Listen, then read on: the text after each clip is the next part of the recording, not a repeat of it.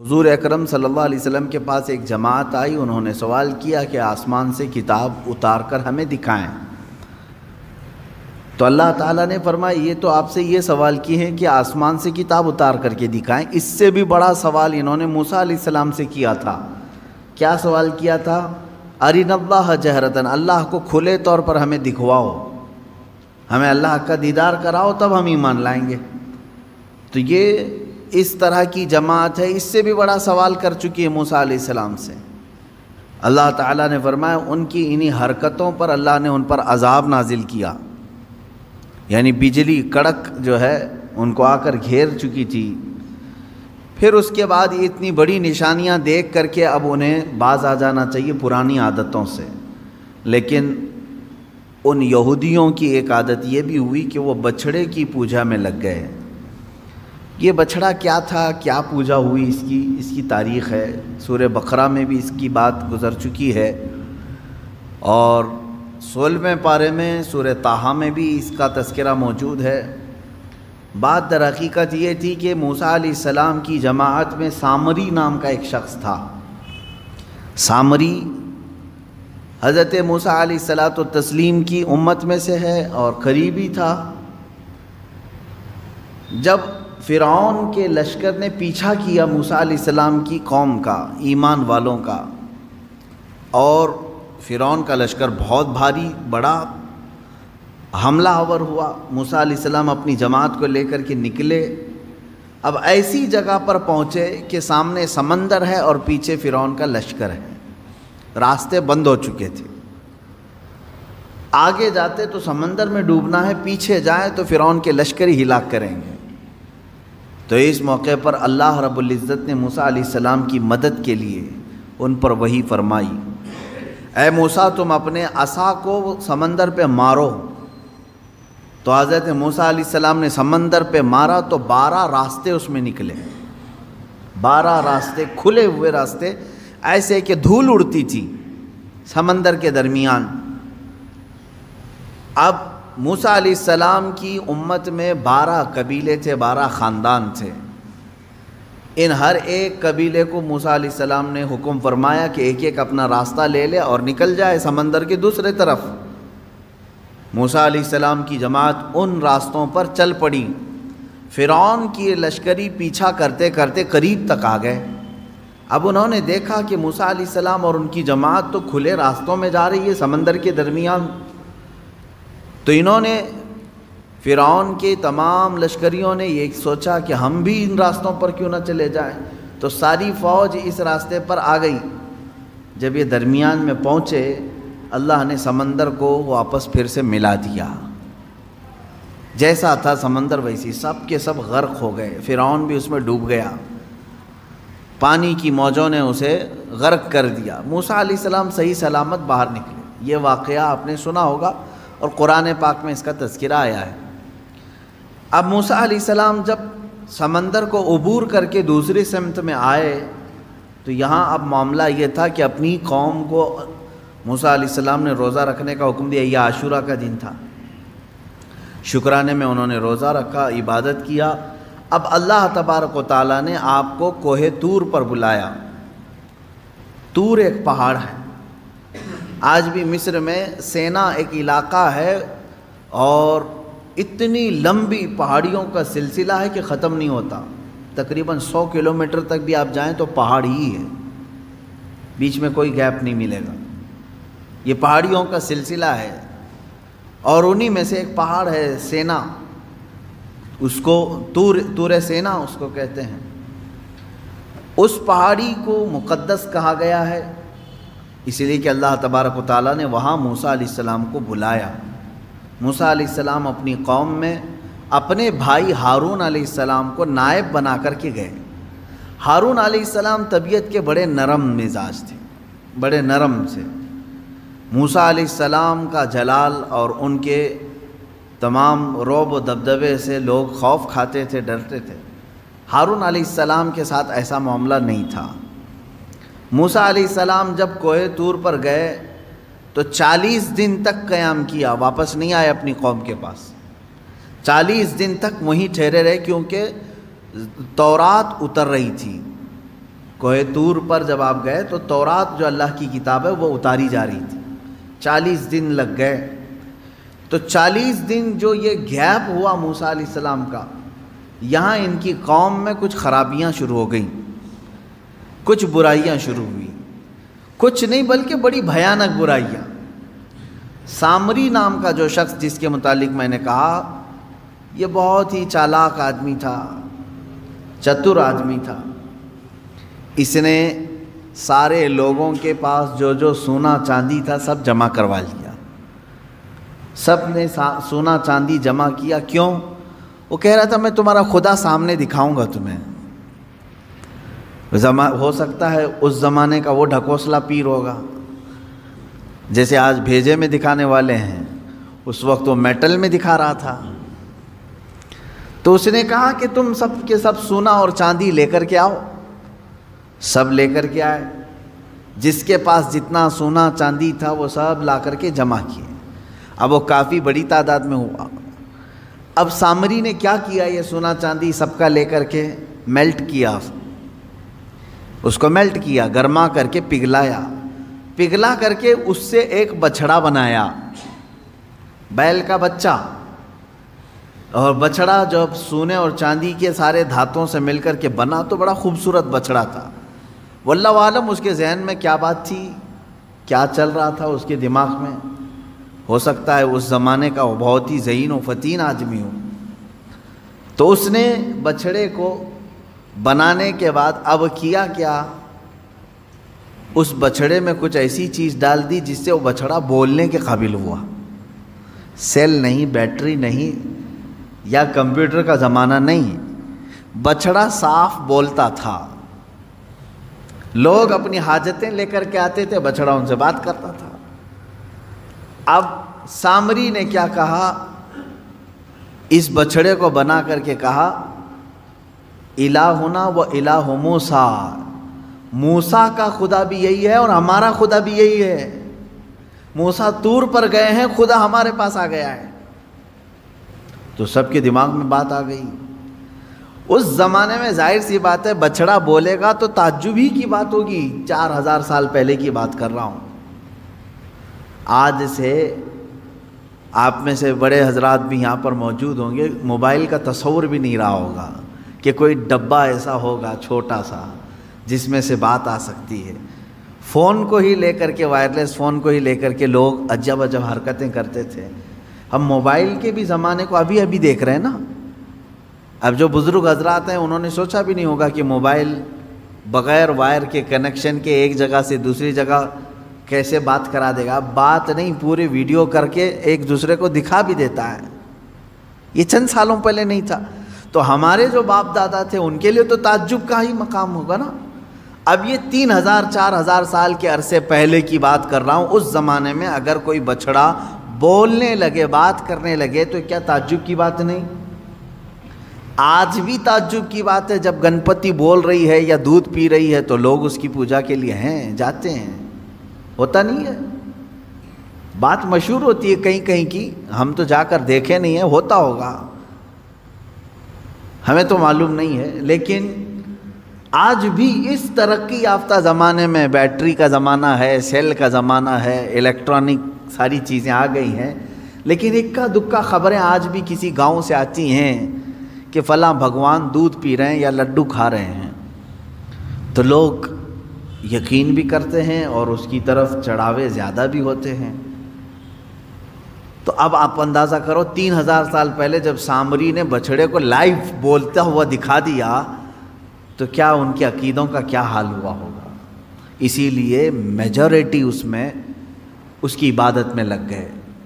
बछड़े की ऐसी मोहब्बत रच बस गई कि सजदा भी उसे करने लगे, मांगने भी उससे लगे, एहतिकाफ भी करने लगे, नज़र व नियाज भी करने लगे, मन्नतें करने लग गए बछड़े के सामने। ये चालीस दिन में इतना सब बुरा हाल हो गया। ईमान वाली कौम का, फ़िरौन का नहीं, ईमान वाली कौम का ये हाल हो गया। मूसा सलाम चालीस दिन के बाद वापस तशरीफ़ लाए। अच्छा इन दिनों में आपके जहन में ये सवाल आ सकता है, हारून सलाम क्या कर रहे थे? क्योंकि मूसा सलाम के भाई हैं और उनको वो नायब बना करके भेजे थे। हारून सलाम को जो मना करना था, वो मना करते रहे। लेकिन अक्सरियत जो है वो सामरी के जादू को देख करके उस तरफ़ चल पड़ी। तो जो लोग बच गए वो हारून सलाम के साथ थे। चंद ईमान वाले बचे रहे। और हर ज़माने में ईमान वालों की तादाद रहेगी। ऐसा नहीं कि पूरे रुए ज़मीन पर ख़त्म हो जाएँगे। मूसा सलाम नहीं थे, तब भी ईमान वाले मौजूद रहे हारून सलाम के साथ। चालीस दिन के बाद वापस तशरीफ़ लाए मूसा सलाम तूर से। देखा अपनी कौम को, ये क्या हो गया? तुम लोगों ने बछड़े को कैसे मबूद बना लिया? और फिर उसके बाद सामरी को गिरफ़्तार करके मूसा सलाम ले आए, तूने बड़ा खुला शिरक किया। तेरा कत्ल वाजिब है अब, तुझे मारा जाएगा। लेकिन ये तो बता, इसको बोलने के काबिल तूने बनाया कैसे? लोगों का सोना चांदी सब मेल्ट किया, अब बनाया कैसे तूने इसको?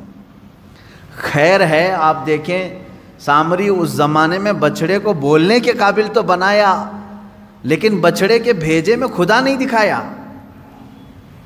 ये इस ज़माने का कमाल है। वो जादू जिस तरह से भी किया होगा, लेकिन उसने कहा, यही खुदा है। अब आप अंदाज़ा करें, मूसा अली सला तो तस्लीम ने जब उससे सवाल किया, अब वो जवाब क्या देता है?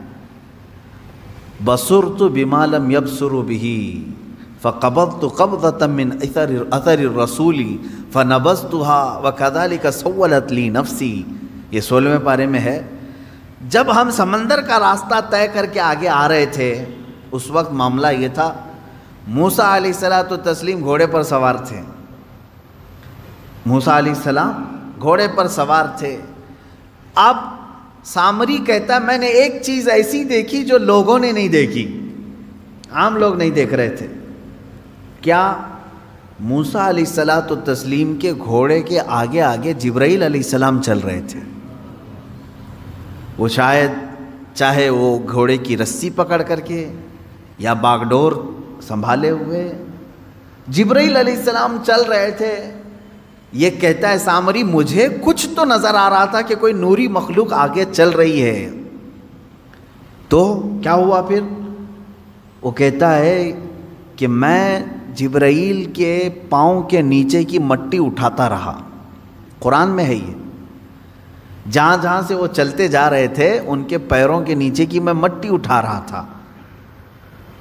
फ़कबत तो कब मिन असर रसूल, उस कासिद उस फरिश्ते के पैरों के नीचे की मट्टी में उठाया।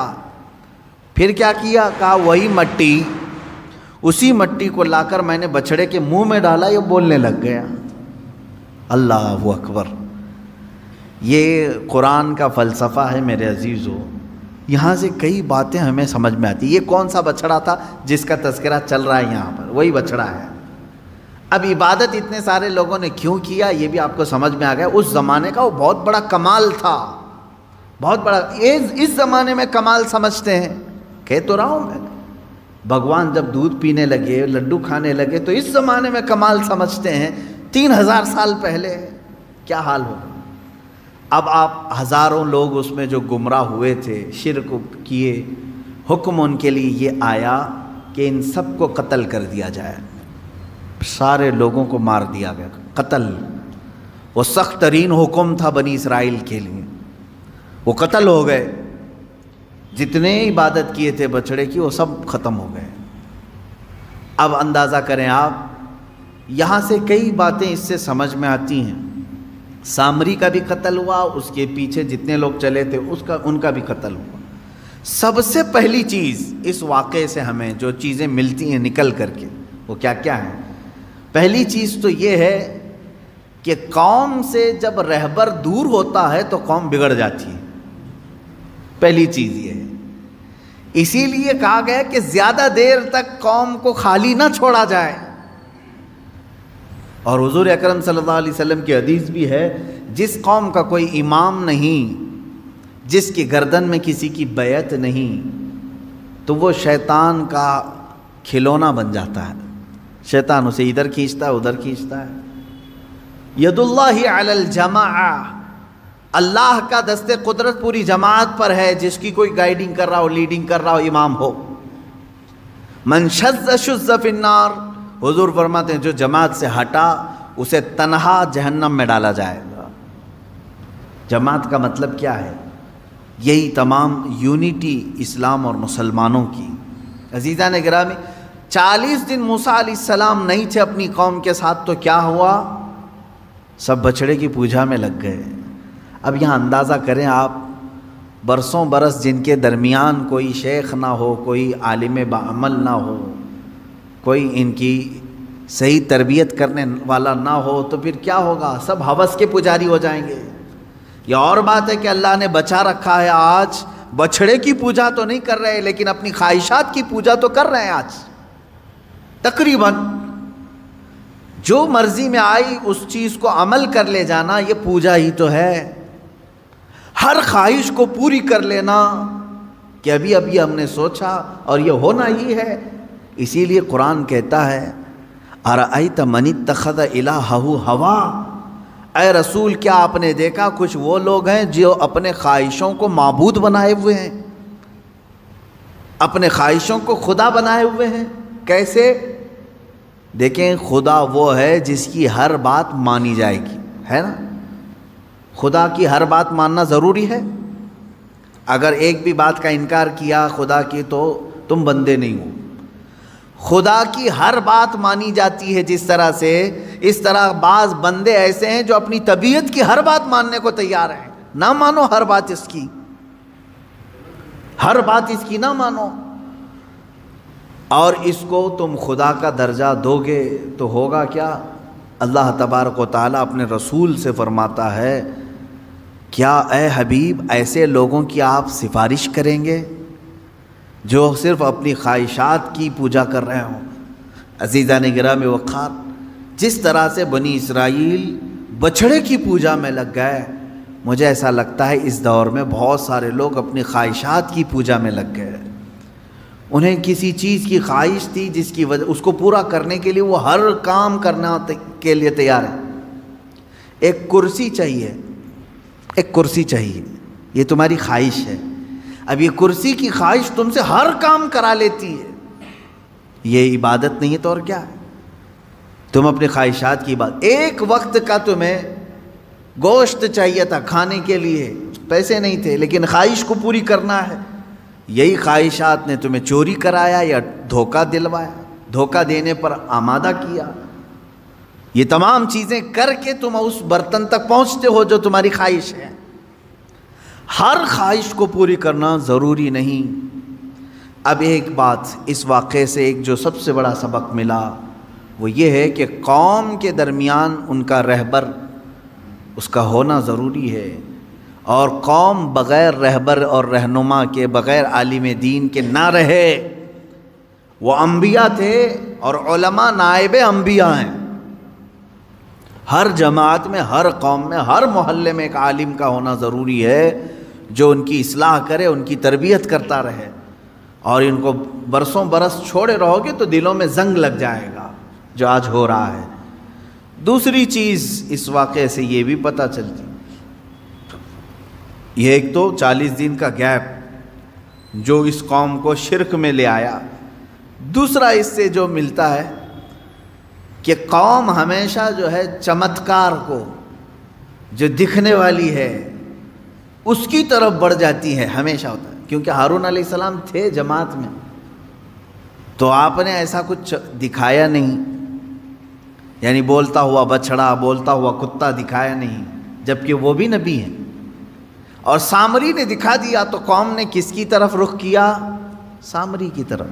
इससे पता ये चलता है, अक्सर लोग जो है, उस चीज़ की तरफ़ अट्रैक्ट होते हैं जो चमक रही है चीज़। ऐसा ना करो मेरे अजीज़ों, ये गुमराही है। गुमराही है। आज के ज़माने में हो सकता है तुम्हें कोई ऐसा करके दिखाए। ऐसा करके दिखाए। आओ, हमारी इबादत खाने में हम तुमको दिखाते हैं कि कैसे हमारा खुदा बोलता है।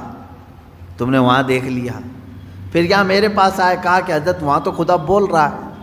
मस्जिद में तो कभी आपने दिखाया नहीं खुदा बोल रहा है। ये सेम वही चीज़ है जो बनी इसराइल के साथ हुई। सामरी बछड़े को बुलवा करके दिखाया तो सब शिरक में मुबतला हो गए। और हारून सलाम ने कुछ नहीं दिखाया, लेकिन ये कहा कि अल्लाह एक है। तो छंद ईमान वाले कायम रहे बाकी उधर चले गए। ऐ मेरे अज़ीज़